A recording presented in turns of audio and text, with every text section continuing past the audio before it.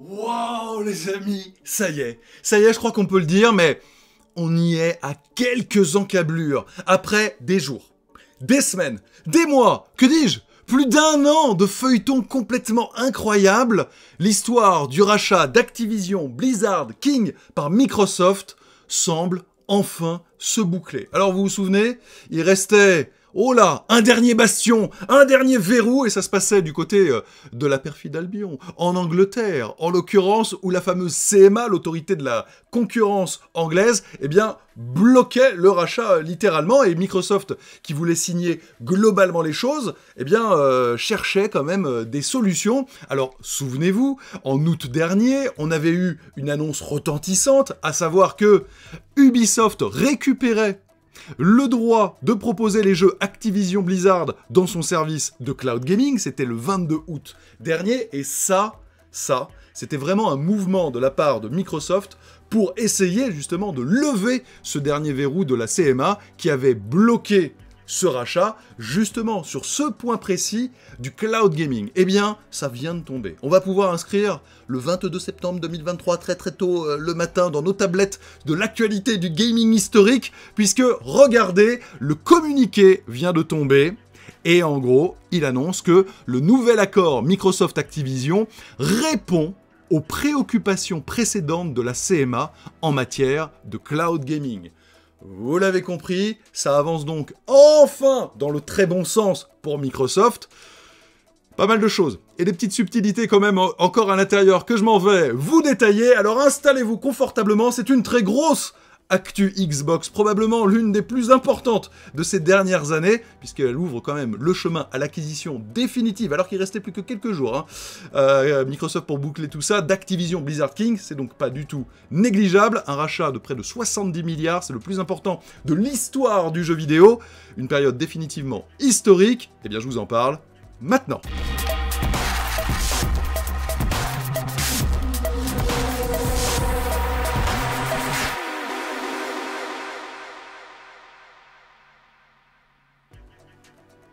Alors pour bien tout comprendre, on va se plonger sur le communiqué officiel qui vient tout juste de tomber, là, tôt ce matin du 22 septembre, communiqué de la CMA donc, qui, eh bien, revient précisément sur certains points qu'il valide désormais, et je m'en vais vous traduire tout cela. Qu'est-ce qu'indique donc la CMA Ils disent Bien que la CMA ait identifié des préoccupations résiduelles limitées concernant le nouvel accord, Microsoft a proposé des solutions qui, selon la CMA, devraient résoudre ces problèmes.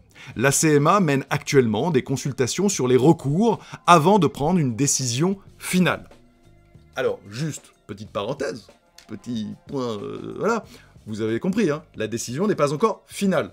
Mais enfin, vu que ce qui bloquait c'était l'histoire de cloud gaming, et qui disent que le nouvel accord avec Ubisoft a réglé ces problèmes, là, là honnêtement, là, sauf rebondissement, mais ce serait même pas une surprise, ça n'aurait plus de sens, en fait, je pense que clairement, euh, oui, euh, on y est. Mais euh, regardons un petit peu ce qui a été indiqué. Ça parle d'un nouveau deal. Plus tôt cette année, la CMA a empêché Microsoft d'acquérir la totalité d'Activision, craignant que l'accord ne nuise à la concurrence dans le domaine des jeux en nuage au Royaume-Uni. Après le blocage de cet accord, Microsoft a soumis une transaction restructurée en août pour examen par la CMA. Et là, je fais encore une petite pause. Quand ça parle de donc une nouveauté en août, eh bien, c'est ce que je vous avais montré, c'était le 22 août dernier, avec cette actualité, hein, euh, qui est officielle de la part d'Ubisoft, et qui quand même, c'est assez intéressant. Hein. Regardez, eux-mêmes avaient dit, oui, vous avez bien lu. Ubisoft annonce aujourd'hui la signature d'un accord qui lui donnera les droits de streaming de jeux tels que Call of Duty et bien d'autres. C'est quand même complètement fou, et ça l'était le 22 août dernier. Hein. Les jeux Activision qui arrivent dans le cloud gaming d'Ubisoft. On vit une période incroyable, euh, ça euh, résolument et définitivement. On retourne donc dans le communiqué de la CMA. Dans le cadre de ce nouvel accord, Microsoft n'achètera pas les droits de cloud gaming détenus par Activision, qui seront vendus à un tiers indépendant, à savoir Ubisoft, avant la finalisation de l'accord. La vente préalable des droits de cloud gaming fera d'Ubisoft un fournisseur clé de contenu pour les services de cloud gaming, reproduisant ainsi le rôle qu'Activision aurait joué sur le marché en tant qu'acteur indépendant. Contrairement à l'accord initial, Microsoft ne contrôlera plus les droits de jeu en nuage pour le contenu d'Activision et ne sera donc pas en mesure de limiter l'accès au contenu clé d'Activision à son propre service de jeu en nuage ou de refuser ses jeux à ses concurrents. Contrairement aux solutions précédemment rejetées par la CMA, Ubisoft sera libre de proposer les jeux d'Activision à la fois directement aux consommateurs, et à tous les fournisseurs de services de cloud gaming, comme bon lui semble, y compris pour les services d'achat pour jouer ou d'abonnement multijeux ou tout nouveau modèle de fourniture de contenu. Cela pourrait émerger à mesure que le marché se développe.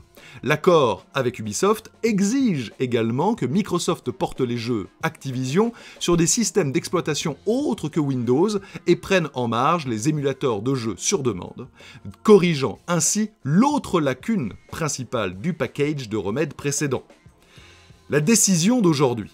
La CMA considère que l'accord restructuré apporte des changements importants qui répondent substantiellement aux préoccupations qu'elle avait exprimé concernant la transaction initiale plus tôt cette année. En particulier, la vente des droits de streaming cloud d'Activision à Ubisoft empêchera ce contenu important, y compris des jeux tels que Call of Duty, Overwatch et World of Warcraft de passer sous le contrôle de Microsoft en ce qui concerne le cloud gaming.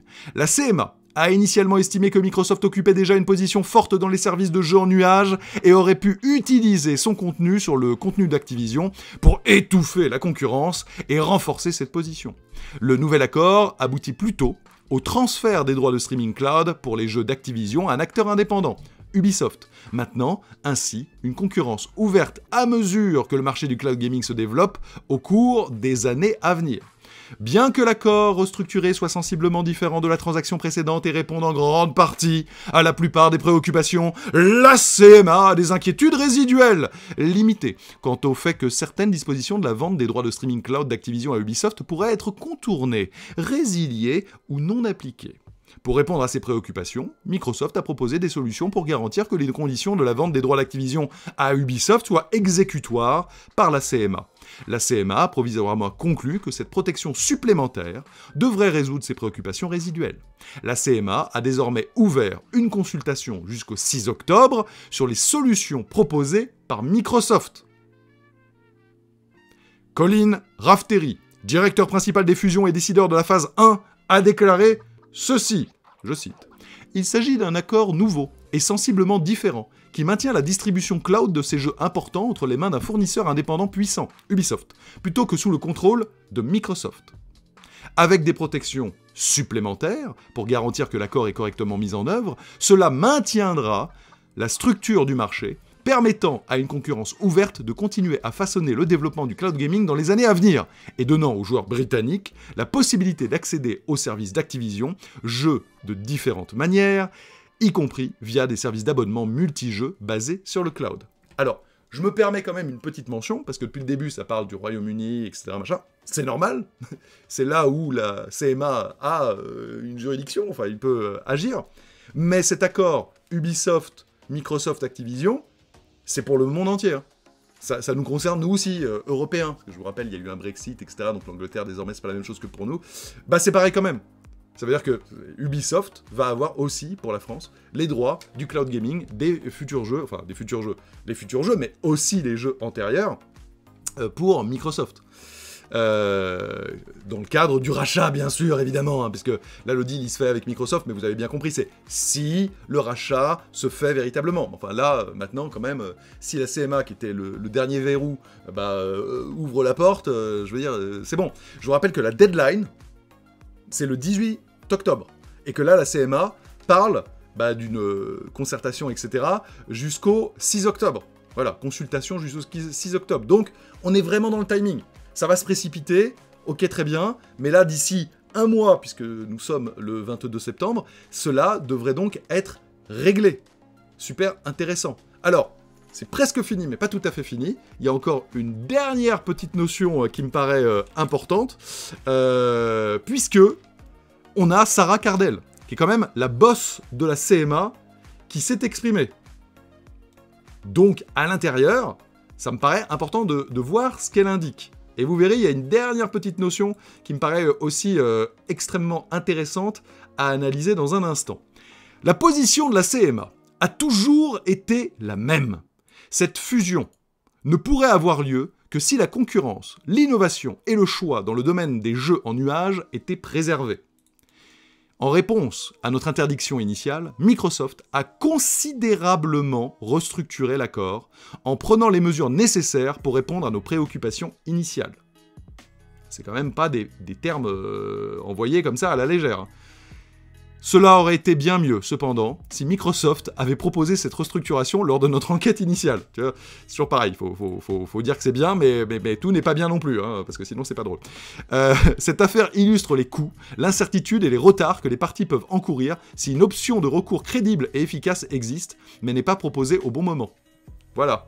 Donc en gros, là, ce que dit la CMA, c'est que, ok, c'est bon, c'est bon, là, vous avez répondu à nos interrogations, à nos préoccupations, etc. C'est bon. Mais quand même, vous auriez pu le faire dès le début, hein, ça aurait coûté moins de temps, moins d'argent, moins tout ça, voilà, quand même. Voilà, on se tape un petit peu quand même dessus, histoire de garder bien la face, etc. Alors, dans l'absolu, si on prend un pas de recul de tout ça, la CMA, au final, a quand même plutôt bien manœuvré, puisqu'elle obtient ce qu'elle avait souhaité. Et effectivement, si la CMA n'avait pas été euh, aussi euh, complexe à, pouvoir être satisfaite, eh bien, pour l'ensemble des joueurs, il n'y aurait pas eu toutes ces concessions successives de la part de Microsoft, jusqu'à donc quand même signer un accord avec Ubisoft pour que, au final, les jeux Activision ne soient pas dans le cloud gaming de Microsoft, mais celui d'Ubisoft, etc. Tout ça, c'est en vérité à mettre euh, à l'apanage de, la CMA. Donc, vous savez, dans ce genre de cas, il y a beaucoup euh, de politique aussi. Et ces entités veulent garder la face, quelque part, et montrer qu'elles ont un rôle, une stature, et qu'elles peuvent imposer des choses. Et donc c'est un espèce de... Comme ça, ça se regarde, c'est donne-moi, fais une concession, je t'en fais une autre, etc.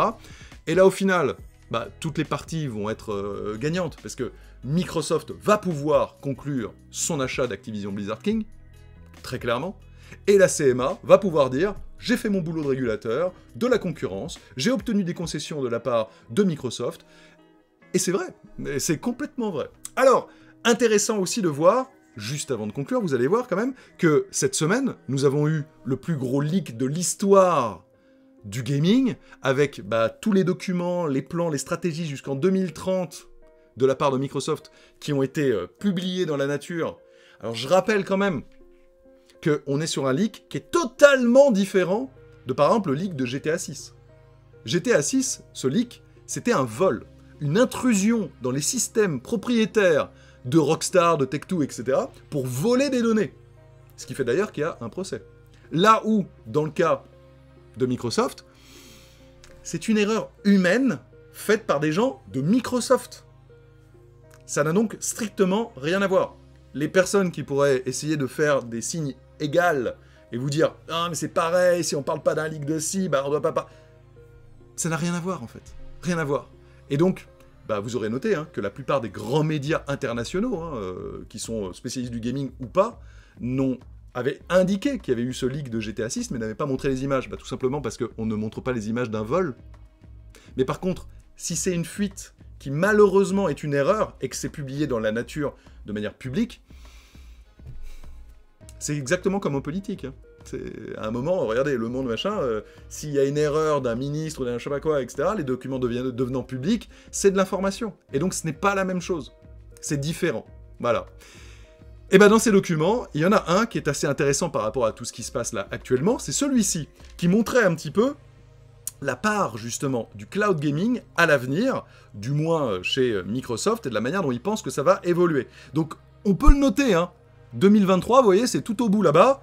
Pour l'instant, le cloud gaming, c'est en bleu. Alors attention, hein, ça c'est le cloud gaming par rapport au Game Pass. Hein. C'est pas tout le cloud gaming, etc. Mais ça permet de voir un peu les proportions quand même. Et on voit que la proportion du cloud gaming aujourd'hui du Game c'est rien. C'est le pixel, quoi. Sauf que en 2030, bah, vous le constatez, c'est quand même une part pas si négligeable que cela. Plus importante que le PC en, priorité.